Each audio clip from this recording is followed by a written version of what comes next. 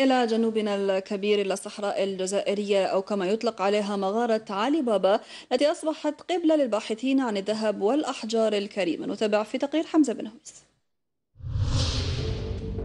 ذهب ألماس وفوسفات. هي ليست مغارة علي بابا بل هي صحراء الجزائر. حقيقة يجهلها أغلب الجزائريين. ويتكلم عليها الأجنبي من خلال عمليات تنقيب حديثة كالمسح عبر الساطل. فهل كان للتقارير وحتى المناهج الدراسية شيء من المصداقية تجاه حقيقة ما تسخر به صحراء الجزائر من ذهب وألماس؟ في الجزائر يوجد ذهب. الشركة الأسترالية الجزائرية تصرح بأنه في منطقة الهجار اكتشفوا حقلا للذهب. يمكننا أن نستخرج 9334 كيلو غرام سنوي. في نفس المنطقة يوجد حقول للألماس.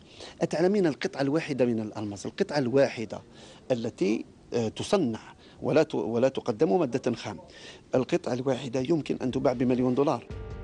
بلغ احتياطي الجزائر من الذهب حسب المجلس العالمي للذهب 173 طنا وتحتل المرتبة الثالثة عربيا بعد السعودية ولبنان والمرتبة الرابعة والعشرين عالميا. أما الاحتياطي الخام فقدر سنة 2016 بأنه 100 مليون طن قابلة للزيادة في حال تعزيز جهود عملية التنقيب عن الذهب. تنهب وكانت تنهب.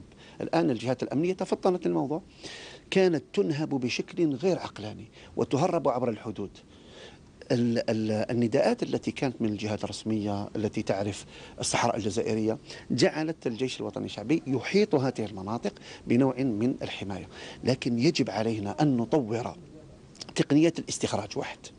يجب علينا أن نطور تقنية التكرير وأن لا نصدر منتوجاتنا خام 2016 ألقت قوات الجيش الجزائري على 1977 منقبا عن الذهب منهم 1274 ينحدرون من جنسيات إفريقية والباقون جزائريون. كما قامت بحجز 1722 جهاز كشف عن المعادن وعدد كبير من المولدات الكهربائية ومطارق الضغط. و171 سيارة رباعية الدفع.